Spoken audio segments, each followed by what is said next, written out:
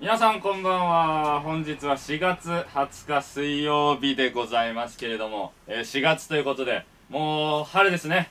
もう春ですねって皆さんこう思ってると思うんですけども僕も春ですねって思ってるんであのーあなただけではないですよ。やめてください。独占しないでください。山崎春の独占禁止法。ということで参りましょう。ネクスト G のお笑いしたいです。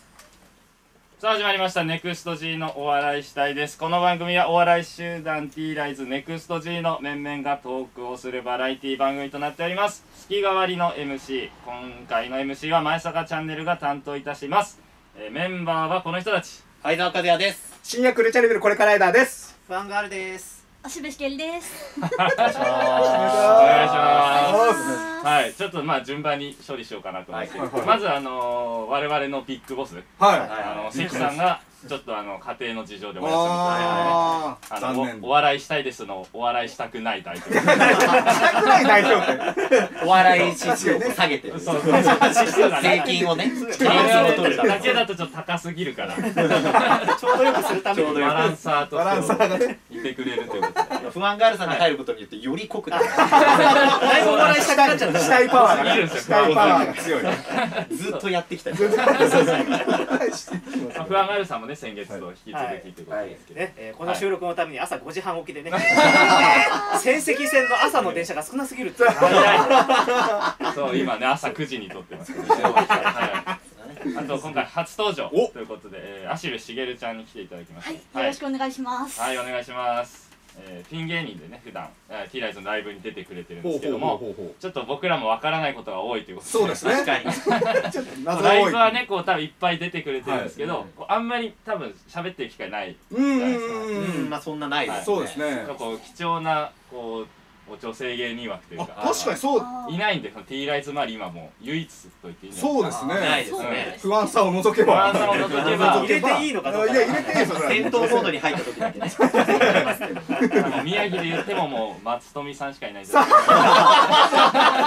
かに。もうそこか芦部茂みたいな。平均年齢だけは高くなっちゃうみたいなね。茂トさんに引っ張られてが下げて下るっていう。げて下げてる。なんとか感じになりますんでねちょっといろいろ聞いていきたいなということで、はい。えーやっていきたいと思います、はい。えーメールも募集しております。メールアドレスが762アットマークえー、ラジオ 3.jp、えー、762アットマーク RADIO 数字の 3.jp です。たくさんのメールお待ちしております、えー、ネクスト G のお笑いしたいです。最後までよろしくお付き合いくださいあネクスト G のお笑いしたいです。本日 MC は前坂チャンネルです。メンバーはこの人たち。相沢和也です。新薬ルチャレベルこれからライダーです。ファンガールです。足部しけりです。はいお願いしおます。願いします。ということでね聞いていきたいんですけどね。謎のね興味あるちゃんと数。そうだよ数興味なさそう。ありますよ。そう人に興味ないからな数人間に興味ない。そうそうおそう。笑いとポケモンだけだそうそうそうそうそうそう。お笑いとポケモンにしか興味ないから。それだけじゃないですよ。他にもありますから。じゃあせっかくこんなに言うからちょっとみんなで質問していきます。うんうですか？なんか気になること聞いていきます。まずそのなんかきっかけですよね。ああ確かに。で一応まあ我々の認識では、去年かな？去年のその、で我々月々でやってる「竹にすずめ TV」っていうのがあるんですけど、その時初めてはい。出てきた、うんうんでその時はなんかそのウェブライターかなんかやってたんだっけ？はい、やってました。えー。でそれのなんか取材を兼ねて出るみたいな感じではい。え言ってたと思うんですけなるほど。ちょっとそこまでの経緯をちょっと改めて聞きたいななぜ始めたのかってことですね。えーと、それはライターをなんでってとこからですか？お笑いをなんでってとこからですか？ああそうかそうか。まあ、じゃあちょっとライターのところも聞きましょう、うんえーっと、あのネットにおもころってサイトあるのご存知ですか？はいはいはい、うんうんあのね面白いやつねまあそうですね。面白い毎日更新してるサイト。あるアルマさん。のはい、はい。そこで年一でこう読者からその記事を応募してくださいみたいなコンテストがあるんですよ。はいはいはい。うんでそこにちょっと出してみたいなーって思って記事書いたら入賞はしなかったんですけどちょっといい線いって。であーなんかこれやりたいなーって思ったら思ってちょっと探してたらそのまあクレイジースタディっていうサイトを見つけましてそちらに「すいませんこういう記事書いたんですけど読んでください、こういう記事書かせてもらえませんか?」って突したのがきっかけです。うん。なるほど。クレイジー。スタディっていうのはそれでいろんな人が集まってるんです書く人が。あそうですね。書く人結構集まってて30人40人くらいいるのかなえー、えそうお笑いはそれで好きでっていうことですかえっとお笑いはその時はまだ好きじゃなくて。はいはいはい。じゃあお笑いと関係ない記事を書いてはい。全く関係なかったです。たへえ。最初はあのララブソングを、はいはい。その自分で作詞してみようみたいな既存の記事、既存の歌詞をはい。元にちょっと書いてみようぜっていうのをやって、はいはいでその後はこうインスタのエロスパムあのエロアカスパムあれはいじゃないですか。はいはいあれをちょっと特徴を何個かアカウント分析してはい。実際最後そのそういうアカウントを自分でスパムじゃないけど作ってみるみたいなはいはいはいはいはいはいだったりとかお笑いとはあんまり関係ないことをあはいはいはいまあでも結構独創性っていうかうんなんかお笑いに変わったね通じそうな感じではします確かにしてしまあ確かに同じ畑なのかなとは思うん。うですけどん。で、うん。そうですね。それが始めたのがあのコロナで休校になったタイミングではいあはい。ーなるほど。で家行ってもやることがないぞと。はいはいはい。でテレビとかもすごく見るようになって、うん。あの有吉の壁をちょうどレギュラー放送始まったタイミングではいはいはい。はい見るようになって。はいであれお笑い面白いじゃんってなったのが、はい。まあ4月その2020年の4月だからですかね。それがいくつの時になる？17ですね。若っ。あーだから高校生。え今は？今18若あの若っ。もうちょいで19になりますね。うわうわうわうわうわうわうわ。すごい。若っちゅうえ？未成年？はい。青年ですよ。高校卒業したばかり青年です。あそうだ。あ青年なんです。そうだそうだ。あ18歳あ法の方から迎えに来たパターンね。超レア世代です。世代確かに。このうん12年の世代しかないですね。あすごい。すごい。レア世代。レアな世代でやらせてもらってます。3世代ねまとめて。まとめて成人になるというえそれすごい。あすごいですね。結構昔からねお笑い好きなのかと思ってたら。いやもう全然今まで興味もなくて「エンタの神様」とか、うん。あと「レッドカーペット」なんかも全然見てないえです、え強いて言うなら「羽の扉」をちょっと見てた記憶があるなーくらい、えズグダンズンブングンゲームとか知らないんだ。知らないえですね、え伝わらない。え知らないんだ。じゃあ般若とか知らないってことか？いやハニャはちゃんとネタを見たことってお笑い本格的に好きになればなかった最か。高でもそうっすよね。10年以上前から。うん。僕らが劇団ジョセフィーヌのことか見てたのも知らないんですね。劇団ジョセフィーヌそうだよそうだよきっとそう。え不安さんの入りってどんぐらいなんですか？お笑い最初に見たの。お笑い最初に。見たの？いやもうなんかおぼろげな記憶で幼稚園の頃に俺たちひょうきん族見てた記憶。いやそうあひょうきん族ですよ。そうか。そうです。記憶がひょうきん族とか金ちゃんとかドリフとかその辺になってきますから。世代が幅広そういか。伝説ですよ。おー片や有吉の壁から壁ねからいやーすごい。すごい歴史を感じる。いやでもこのお笑い好きになってから自分でお笑いやるまでめちゃくちゃ早くないですか？確かに確かにそうだ。あのうん。1年ですねそこ。まあでもきっかけは2020年の m 1見て、はいはい。うん。であじなんかわかんないけど自分もやりてえなになったんですよね。でもこう何ヶ月か探してもそもそも知り合いにお笑い好きがいないぞ。うんうん学校でもちょっと誘えるような友達がいないぞ、うんうん。友達がいないぞそもそも。っ てそうではないと思うよね。でどうしようかなってなってる時に、はいはい。2021年の r 1を見たんですよ、はいはいはいはい。はいあの運営グダグダだったあー時間足りなかった回。ですねあのゆりやんみたいな。12回以内になったとかオープニングから巻きでみたいな。始まった瞬間巻きだったであのちょっと大会の流れ見ててひどいけどネタ面白えなうん。ネタみんなすげえ面白いな。一人でここまでできるんだって思って。あじゃあ私一人でもなんかやれんじゃない？おー。そこで根拠のない自信が生まれてしまったんですよ。ピン芸人の道というのが見えた。はい。ほうほう。でそれでちょっと仙台でできるとこないかなって思ったら他人スズメ募集やってたのであじゃあもうこれやってみようっ応募しちゃったっていう流れえー、ですねだから R1 の運営がグダグダしてなかったら、うんこうなってることはなかったわけですね。いやいやいやそこは関係ない内部から変えてやろうみたいなちょっとネタでネタ見てってことですよあ、そこは関係なかっ芸人のネタですた。グダグダが良かったわけじゃないのね。あー、なんだなんだ。ネタがいいわけない だとしたらなんだ R1 ちゃんとしちゃったじゃないかでやったりやったり。確かに。でもネタもね、何本か見見さ一緒に出て見させてもらって、うん。でなんかすごいめっちゃ昔からお笑い好きな人がやってそうなネタじゃないですか。確かに確かにそうだとあのかコントの感じとかね、ヒューマン中村さんとかね。うん。そういうの系譜ですよね。あのまさにまさにそうです。えー、あめっちゃそこを参考にしてるんですい。憧れてる。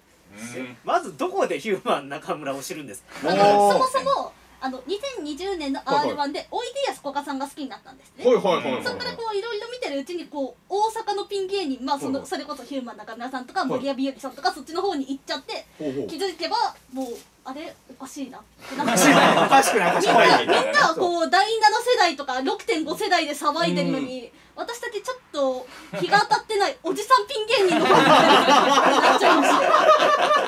あれおかしいなこんなはずじゃなかったのに。な確かになんかツイッターとか見てると、うんそのコアなお笑いの女性のファンってなんか最終的にヒューマン中村さんに行き着く人が 割とわかる。人気ある気がする。終着点にいるんですかヒマさんって。ストイックにこうずっとやられてる感じがね、あなるほど。面白いですねやっぱりね。面白いなどうですかライダーさんとかもなんか気になることあれば。えーはい。年齢も聞いちゃったしなんか 年齢しかないただのおじさんの質問なんで。だからお笑いをやお笑いに興味持つ前は何が好きだったのかっていうのはやっぱり気になりますよね。そうですね。部活とか何やってたとかっていう。部活は結構いろいろそれこそ小学生の時はバスケで全国大会行ったりとか。ええうん。え全国大会？全国？はい。すごっ小学生の時全国。こう。全国すごいよね全 全国。すごすぎすごすぎる。よそうそうそう小学生の時にこう入ってたチームがこうなんかいつの間にかめっちゃ強くなっちゃっててなんか全国県大会た勝ち上がってうん。全国大会行っちゃったみたいな、行っちゃったっていやいや。い行っちゃう2んでいける年連続行っちゃったみたいなえそれは試合には出てた？えー、6年生の時副キャプテンやってたんですけど、うえすごいじゃん。あの下級生にバンバンレギュラー取られてました。ねあそう。ベンチには入ってたけどみたいな。でもでもすごいよ。すごい副キャプもテンともと本当に運動ができない人間だったからええ。まず地の体力をつけるところでもう5年くらい使っちゃって。え。結構じゃあ小さい頃からバスケに。あそうですね。小学2年生の時から6年生の時まで。ええ。4年くらい。いポジションとかある。やミニバスって極端あのあ小学生のミニバスケットボールって言うんですけど、うんあんまりこうボール運びのガードとあとセンターそのうん。一番でかい人、うん。以外はうん。あんまりそこまで決まってないと思うんですよね、おお前どこだぞってはっきり言われたことあとは。があって私そもそも試合に出ることがほとんどないからもう出たらわたわたしてました。わたわた。って言ったわ W っていうポジションあのダブルすげえ動くぞっつって。かき乱してくるっつって。かき乱し担当みたいな。えええー、そうだったんだ。だってそこまで行ってバスケをやめることなくない？だって。確かに。全国行ったっていう。バスケをもうちょっとやろうみたい中学入っても続けるつもりだったんはいですけどはいはいはいあのー同じ中学入った元チームメイト、はい。もうその人その子はもう県の選抜選ばれるくらいのバリバリすごい子はいはいはいはいはいはいはい。そしたら中学入った時に「お前バスケ部入ってくんなよ」みたいな態度をあからさまに示してきたんですあもうこれはやられたぞと思って。じゃあもうお前がそう言うならもうこっちは入ってやんねえよみたいな逆にね。逆に強気にねねこっちから。で結局中学だとずっと美術部やってまして、は絵絵描くの好きだったんあでええでそうですね中学は3年間美術部やって。ほいほいほいほい。で高校入ってからは、えー最初うん。軽音部に入ったんですよ。おおまたおだけど、うん。あの入って早々ちょっとクラスに馴染めなくて夏 夏まであ夏まで学校行かなくなったあらもねう戻れなくなって。あーそれはねそうだよね。で辞めて結局一番緩くて活動のほとんどない写真部の幽霊部員になってました。ほうほうほうほうほうクな道をたどってるんだねいろんなことやりつつもね。うん。そうですね。へその才能がお笑いに今後生きてくるわけだね。確かに。うん。まあ絵まあなんかも絵も一応ちょっとは描けるからちょっと絵のフリップとかできるのかなとか思ったり。確かに。絵見たいっすね。うん経験者の。そう確かに。見たい。ちょっと絵を描く時間が本当になくて。確かにね。絵絵も結構ね集中力いるしね。時間も必要なんだよね。ね。でもやっぱ不安さみたいにやっぱねこだわってうんますうん。うんからまあ全部人に書いてもらってます。これ大人になるとアウトソーシングするっていうことを覚えるからね。確かにね。楽々時間が全然うまい生き方がうまくなるね。今後も期待されますけどもとりあえずあの一曲じゃあいきますか。じゃあはい。しべさん曲紹介お願いします。はい、えー、お聞きください。星野源さんで地獄でなぜ悪い？はいということですけど足部茂って本名じゃないよね。あ本名じゃないですえ本名じゃないの？珍しい名前だなと思ってたぽい感じで茂の女の子はいなくないですか？ああそうか。そうか。室井茂さんぐらいしか。いないああそうだそうだこの茂って実は中学時代か。ら来てて、美術部だったって言ったじゃないですか、うんはいはいでこうみんなでこうわーって喋ってる時にうんあの一人の子が同級生がねあの私の名前の新しいあだ名なんてつける？って話になったんですけど、うんこの「つける」の部分を別の子が聞き間違えてうん「え？しげる?」って言ったんですあよ新しいあだ名茂みたいな。え新しいあだ名なああすいません。新しいあだ名なんてしげる？って聞こえた、でそっからあだ名がしげるになったんです。えー、そんなえちょっとーしたことで。結構些細な、えー。それがなんかツボに入っちゃったみたいで、でそれをそのまま拝借してしげるにえー、新しいも足部って聞こえてたってこと？足部は足部は自分の本名のあの名字の部分をちょっともじって。ーはいはいはいはいはいあはあなるほどなるほど、はい。はい。まあこれで大体バレたと思うんですけど、いはいバレない。バレないバレないね。よアナグラムをこう。並び替えたらこう。なるかもしれるからは変わんないわけだからだって。こっちは。少ないですよ確かに。えでも今はこうどういう状況というかどういう活動をやってる、確かに。そうですね。今一応本業としては専門学生ですね。ちょっと事務系の専門学校通ってて。はいはいはい。まあそれで就職目指してみたいな感じですね。うん。うんこうやっぱ休日はこうやって T ライツさんのライブ出させてもらったりとか、うん。であくまでその芸人としてっていうのはまだそこは決まってないとそうですね。本当はやりたいんですけど。お気持お気持ちはある。ちはあるんです。ねちょっと親に思い切って直談判したらはい。はい。はい。あのそれこそ NSC の資料を取り寄せて「うん行きたいんだけど」ってやったんですよ、うん。そしたら「いやー別にまあダメとは言わないんだけど、うん。生活とかどうすんの?」って言われちゃって。全部計算してみなよまで言われたんですよ、うん。家賃とか光熱費とかうん新生活の準備代とか、うん。あんたバイトだけでそれ賄えんの？ってこう、現実を叩きつけられちゃってはいはいはいはいはクソったれと思いながら。い腐ったねーって思いながら。ね確かに大学とかだとね、ちょっと援助してもらえたりとかあるかもしれそうない、お笑いでってなるとね、うん。私のそこ一個壁あるんですよねその親を説得できるかどうかうん。そうそうそう。ちゃんとあのお父さんお母さんにこのまま行くとあの宮城は松富さんだけになってしまうよ。そうそうそうそう。現状を伝える宮城の将来憂えるね。20年後30年後考えてくださいそう。そうそうそう確かにな。いやでもやっぱ気持ちはあるんだ。そうですね。やっぱいつかはお笑い一本でって気持ちはおおうーん。それはでもこの環境いいと思いますよ。やっぱりだからそれをねじ伏せてきた人たちばっかりいますから。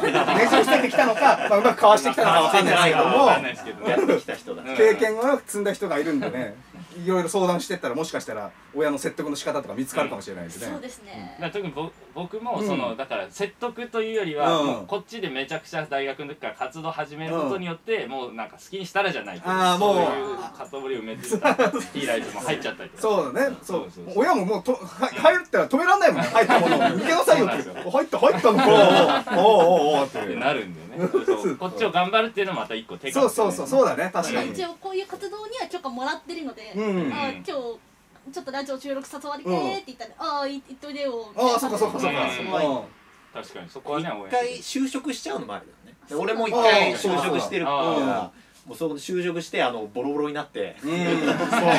もう好きなことやりなさいということ。でそのパターンもある。そのパターンもある。このせ痛々しい姿を見せてそうそうそうお前そんなんだったらお笑いやってくれよ。っつってお笑いがないと。お笑いやってくれって。なるパターンね。全然あるねそれもね。だったらやりなさいそうそうそうそうそうそう。まあねお金もね貯まるそうそうそうそうっていうところもありそうだし。いいね。そっかその方法就もあるか。職あれ不安さんって就職したことある？就職はそうですね。1年だけしてすぐ持ってきましたね。おえおあじゃあ学校卒業して1年やっ一応就職の期間はあった俺だからあの親説得するのに1個必要だったのが、はい。はい手に職つけなさいっていうのがあって、はいはいはい。であの介護の専門学校行って介護福祉取ってでそっから NSC 行ってるんですよ。ああそうなんですね。で NSC 行って芸人始めて1年ぐらいでちょっと厳しいなと思って、あの芸人辞めて就職してでお1年やーってやっぱりやりたいなで芸人に戻ってるんですうね。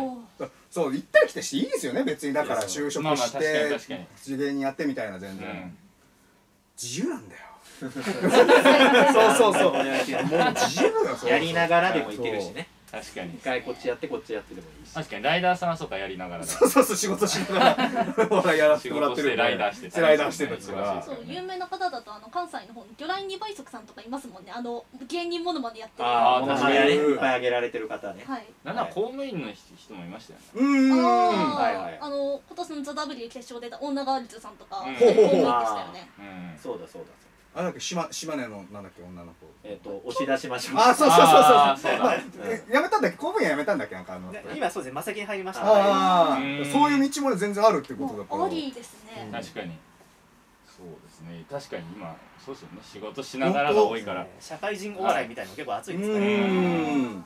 そうなるとこうや社会人じゃない我々が悪いみたいな。悪くない。んだよ。社会人やってないくせに。何やってるんだって。いうねそう。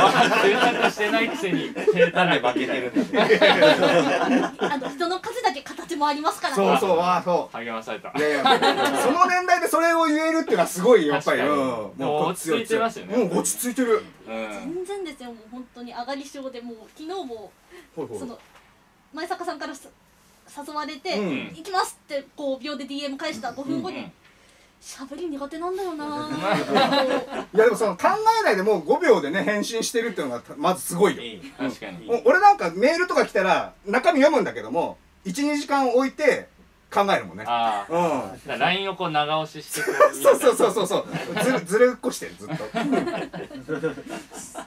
いやでもよかったです。確かにこの今そのうん。出る場面がないというか、最初の頃はそのこの前身の番組、うん。未来図の会議室の時は毎回若手を呼んでそうですねてたんですけどはい。あの一時翌分若手がもういないという。そうそうそうなんかみんな来なくなったのね。誰もない。そうそうそう。近江とかなんか毎月来てたのに来なくなったみたい急にね急になんか遠慮しちゃって来なくなって。なで今ちょっとずつ若手の人も出てきたんでね、はいはい。こうちょいちょい呼びながらやっていきたいなという、えー感じですけどね。はい。はい、ということでエンディングに行きますか。はい。エンディングです。さあということで、えーお待ちかね告知のコーナーでうわ待ってた。めちゃめちゃ待ってた。じゃあおなじみの、えー、いきなりライブ。って。おなじみだね。スッと入ったね。次回はですね5月6日金曜日はいはい。19時からでございます。仙台市福祉プラザふれあいホール、えー前売り800円、えー当日1000円と、えーなっております。チケット芸人が、えー持ってますんで、うん。えーお声掛けください、はい。あのちなみに、えー今回僕 MC をおやらせていただきましたんで、えすごい。MC ー。よろしくお願いします。何回告知さするのか。そうそうそうそう。MC なんだから。MC 中には入れない。エンディングで入れることはある。MC 中やんない。やんないの MC やんないや中んないですか？今日ちょっと得意なやつやらせていただきます告知芸人じゃない。あ違う。あ違かったんだそういうふうにやされてますステマでもいいですよ最初。ステ気づくかな？やたらこう汗拭いてこうハンカそういうスポンサーとかついてないです。帰り際にハンカチ買いたくなる。みたいな。ハンカチ欲しいわ。っつって。なんかあります告知したいようなこと。うん。特にないんですよね。もう。告知という告知が。そうか特に何かやってるわけではないか。そうなんですよね。各お笑い以外何も。でもツイッターのアカウント復活させたって言ってなかったはい復活させました。種 ツイッターぐらいですか？しべしげるとしてなんかやってる。そうですねツイッターくらいですね。ちょっとさっき最初の方ライターをって言ってたんですけど、うん。パソコンぶっ壊れちゃってあの書けるもんも書けてないんで、えー。あのもうねスマホあるからいいじゃんって言われちゃったんですけど、パソコンじゃないと書けないんだよ。おとい。うことーであの僕は時間間違えてたんでもう終わりの時間です。ありがとうございました。ありがとうございました。バイバイ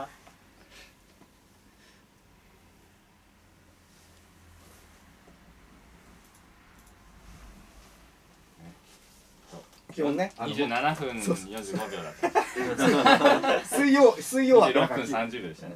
週に2回水曜枠やってるから木曜枠あれ？っつって。水曜、木、あれ？僕こっちがもうあれ？これは水ですか？これはあこれはそうはい。そうそうそう木曜枠を2つやってる。木4の水2でわけわかんな。いそうそうそうあれだから記事を書くって言ってた、うん。で最初、はい。あそうそうそう。言ってたんですけどあのそれをちょっと公務員試験って去年も受けてて、うん。でその勉強のためにちょっといろいろ活動休んだ時期があって、うん。でこう終わったからさあ書くぞと思ったタイミングでパソコンが壊れちゃってもー。う半年以上そのままこうパソコンは壊れたまんまうん。もうあの時撮った写真やあの時やったネタのことは1年以上このまんまみたいな、へえバックアップも撮ってないし。え？バックアップ取ってないの？終わりみたいな感じ終わりだ。終わりだ終わりだ終わりだ。何にもない何にもない何だったんだこれが私の人生なんだ。そうか。もうお笑いにシフトして。ねうそうですうん。ねん記事は書き続けてるわけではない？はい。結局その2本とあと11月にもう1本、うん。11月？その10月？うん。9月？わかんない。秋ぐらいに1本書いたんですけど、はいはい。その先を書こうとしたらもうパソコンあ置いちゃうんでーな。んだろうなんかいい方法ないかな。まあスマホで書くしかない。スマホだとあのうんすごい使いづらいんですよね。確かに。長文打つと思ったらやっぱパソコンの方が楽よパソコンなんですね。でももうパソコンをそうやって当たり前に日常として使う世代なんだもんね。あ多分ギリだと思います。ああ私もうそれこそパソコンは幼稚園の時から触ってたんで。すごいえでまあだから人並みには扱えるんですけど周り見ると「えねえローマ字打ち方わかんないんだけど」うん。みたいに泣きつかれることあったり、うんそうだよ。大丈夫かお前って 逆に珍しいんだよその。ー、ライナーさんの時代もあれですもんね。スーパーコンピューターそんなんじゃないよ。社内の資料集に載ってる。ノイマンコンピューターいじってないでこうやって俺。ここの電極がみたいなのやってないから。そんな。めちゃくちゃでかい。よ電卓計算ぐらいしかできないできないやつ。それでだって文章打つのよ。001001っつって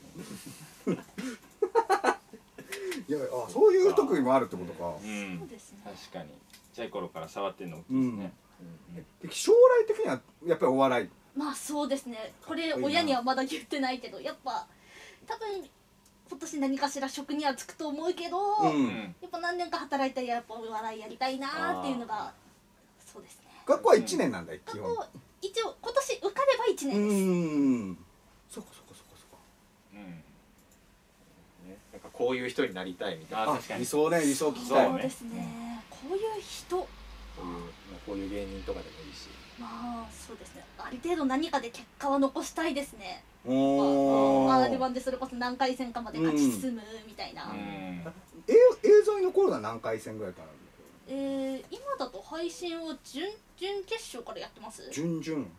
えっ、と、M、まあ R1 だとどうだろうな。まあなんか、うん。有料配信みたいなのはやってるんですけど、ね。一応今年は敗者復活準決勝までの人とうん。一応決勝、そうですね、うん。無料であったのはそこで、一応有料のファニー。の方で配信やってたのは準々決勝から、